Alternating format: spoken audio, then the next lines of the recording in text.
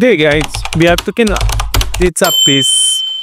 As a developer or a programmer, this is a common term you have to be familiar with. What is a database? A database is like a cabinet where you store data, you organize data, and you as well retrieve those data. By retrieving, you get back the data you have stored there. I want you to see that you can store data either as words, as numbers, or as pictures. Imagine having a library where you have a store of your data. Like I said, it could be your name, it could be your sex, age, email address, where you live. So these are types of data you can store. I want you to visualize it as going to a library. A library where you have millions of books and you just want to search for Rich Dad, Poor Dad by Robert. That's a specific book. So that is more like a data. The library is like a database where you store those data and you as a user, you go there to retrieve that data. Let me understand that. And I also want you to get it more like in a school. You have a set of students in that school and you will need to keep track of the student attendance, the classroom they are in, and their sets.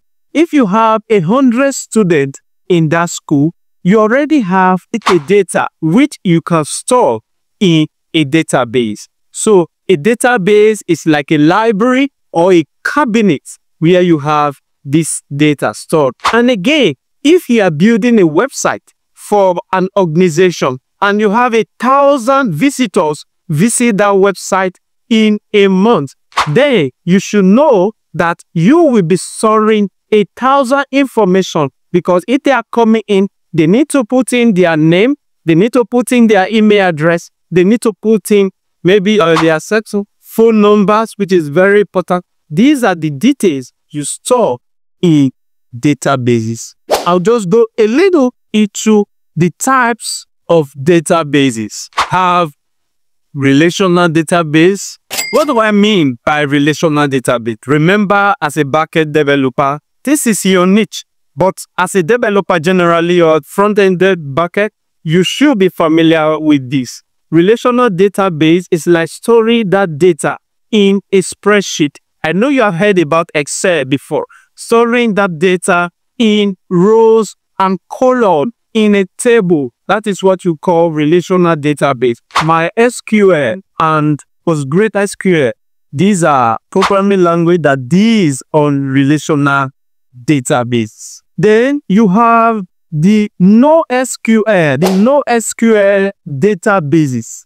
In NoSQL databases, use a flexible, non-tabular format of story data, non-tabular. Remember here in relational, are storing data in tables of rows and what? Column. But here in NoSQL database, you are storing data in non-tabular format. You can guess we have the MongoDB and Cassandra.